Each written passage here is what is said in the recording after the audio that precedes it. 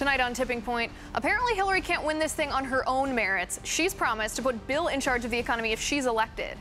Then a former NATO commander predicts war with Russia and says it could go nuclear.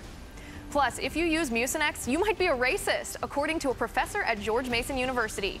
And a superhero prom picture that sparked a sexist firestorm. The instigator of the controversy is here. Don't miss Tipping Point with me, Liz Wheeler, tonight at 10 o'clock Eastern, 7 o'clock Pacific.